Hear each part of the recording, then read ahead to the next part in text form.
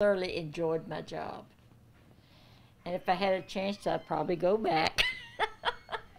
Oh, But that's too old. 82-year-old Barbara Cook of Bossier City. She worked at Ralph and Kacoo's up until the COVID-19 pandemic made it unsafe for her to return. But the loss of her job was just the beginning of her worries. Hurricane Laura left her home a wreck with no money for repairs.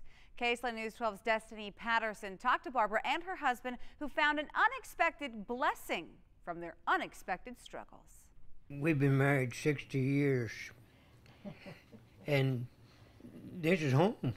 Barbara and Ernest Cook have been trying to find the money to pay for damage Hurricane Laura left behind.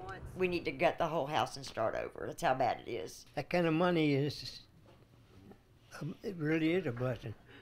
The couple, at the young ages of 90 and 82 years old, weren't prepared for the damage. And they definitely weren't prepared for the bill that came with it, especially after the pandemic did a number on their finances. Barbara has worked for a restaurant in Bossier City for years, but COVID 19 closed their doors for months.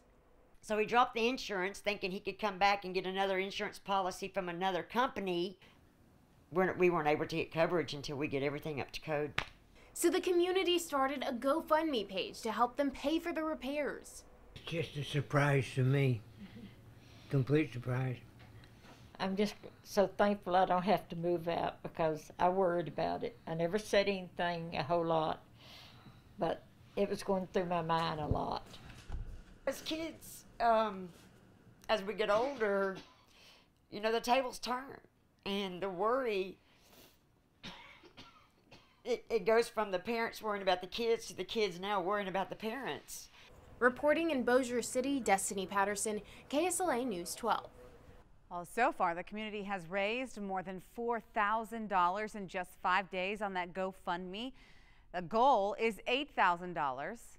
You can find a link on our website at ksla.com if you'd like to.